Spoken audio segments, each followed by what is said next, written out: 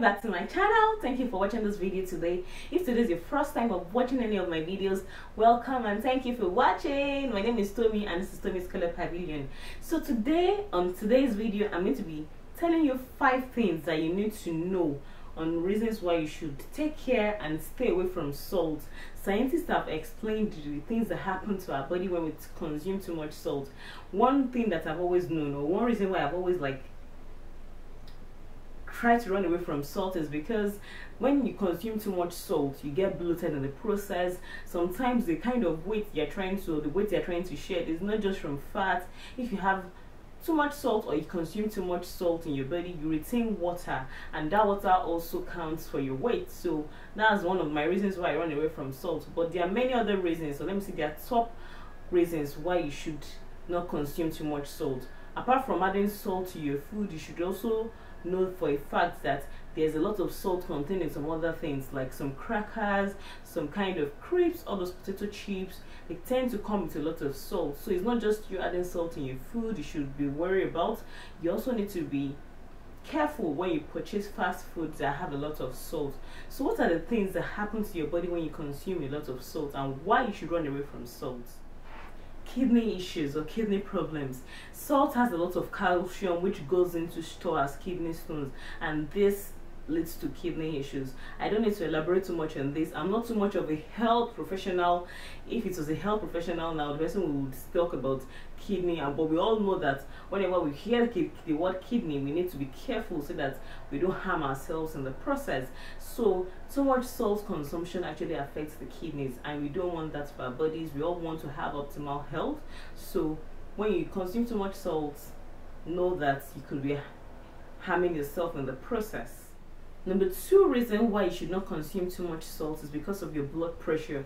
If you take a lot of salt, I believe a lot of us know this, but this is just for saying and for re-emphasizing, your blood pressure shoots up and we all know we don't want our blood pressure to go up. Like I think the normal blood pressure for adults is about from 120 90 Uh, or 120 70 80 which is quite good. By the time it starts getting to 140 150 over 100 the blood pressure is going higher and higher and we don't want that. A high blood pressure can lead to a cardiac arrest and god forbid nobody is going to ever have that. So please reduce your sugar sorry reduce your salt intake just because it's so that it doesn't lead to high blood pressure like I said earlier too much salt consumption leads to bloating and adding to your weight overall. You find it difficult to pass out stools, you find it difficult to pass gas, your tummy just becomes so enlarged and so bloated. If you're bloated or you find yourself bloated, you can take peppermint tea, this will reduce the bloat. You can take a walk. When you take a walk, or take lemon water with lemon water lemon warm water if that makes any sense to you. So instead of you just taking lemons with cold water take it with warm water. It will help with the bloat and don't forget to reduce your salt intake which led to the bloating in the first place the fourth thing that happens to you if you take too much salt is to have brain fog. You might start forgetting things like memory loss, that kind of thing. A brain fog is just basically like an inflammation of the brain and that way it affects the cognitive functions in your brain. Nobody wants to ever have that like you're at work and you did something and you just simply forgot. It's like a symptom of a brain fog. So if you don't want to have brain fog, please lower your salt intake.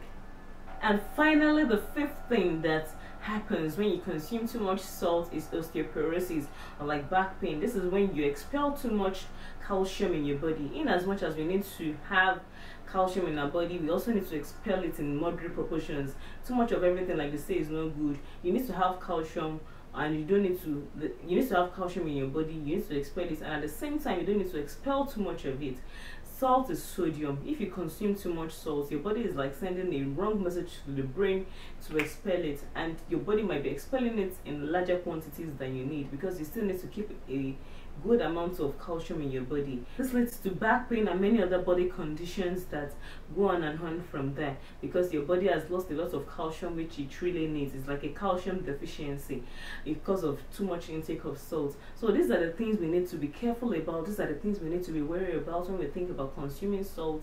Salt is good. It gives our food taste but too much of it can be too much for us. So take note when you buy the fast food, take note when you're ordering food that you didn't cook yourself or somewhere that you go for a party. If you notice that it's too salty it will do you good to just put it away. So just make this a very healthy lifestyle habit and your body will thank you for it.